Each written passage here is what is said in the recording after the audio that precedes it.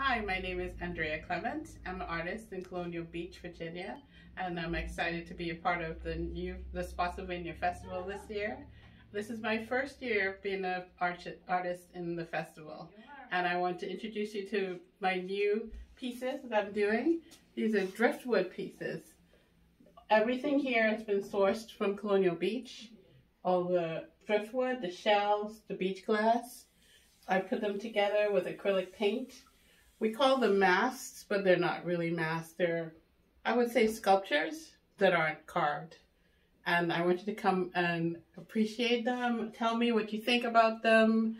I'd love to meet you guys and see what you how you feel about it.